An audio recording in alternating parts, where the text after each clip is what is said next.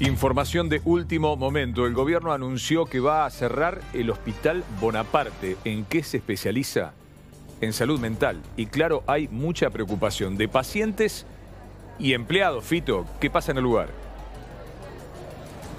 Así es, Rodi. Aquí hay un estado de conmoción, te diría, por esta noticia que comenzó a circular en las primeras horas del día de hoy. Por lo pronto, la guardia y las internaciones del Hospital Bonaparte están cerradas y en la calle están sus trabajadores y los pacientes que están en un estado de sorpresa absoluta por esta decisión que ha dejado adentro a personas internadas a pesar de que el servicio de internación está cerrado. ¿Cómo se entiende esto, doctora? Bueno, mi nombre es Susana Rossi, trabajo en consultorios externos hace más de ocho años y lo que nos enteramos hoy directamente de parte de los directivos es que se tomaba la, decisión de cerrar la internación, la guardia y todo lo que sea el ingreso al hospital. Ya Pero en el interior hay personas internadas en este momento. ¿Cuántas?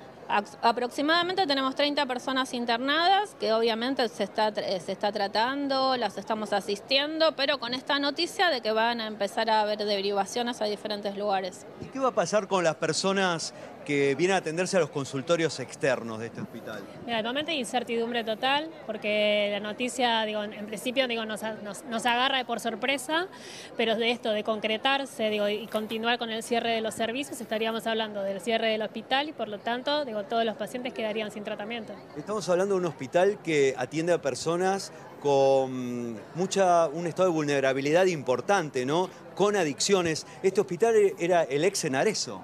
Sí, exactamente. Eh, bueno, ya más o menos desde el año 2013, a partir de la creación de la Ley de Salud Mental, este hospital, este pasa a ser el Hospital Nacional en Red, licenciada Laura Bonaparte, eh, y sí, tiene la especialización en salud mental y consumo problemático.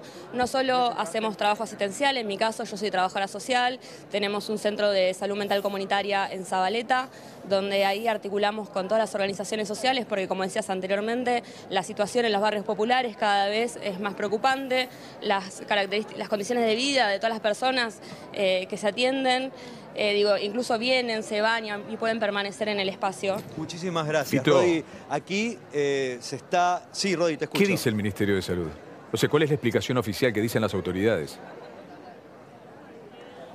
Las autoridades dicen que este hospital está subocupado y que van a ser reubicadas las personas. Pero lo cierto, Rodi, es que este es el único hospital de salud mental de la nación y aquí hay un estado de incertidumbre muy grande por los trabajadores que tienen contratos trimestrales en su totalidad y que en este momento no saben cuál va a ser su futuro también, ¿no?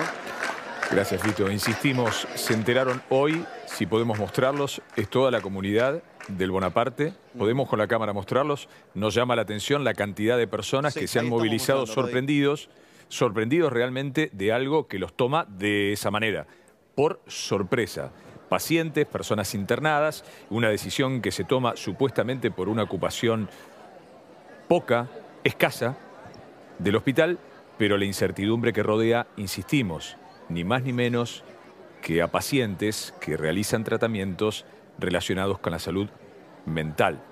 Falta, tal vez, alguna voz oficial que explique un poco mejor para calmar, para llevar respuestas a la angustia de pacientes y, claro, de trabajadores.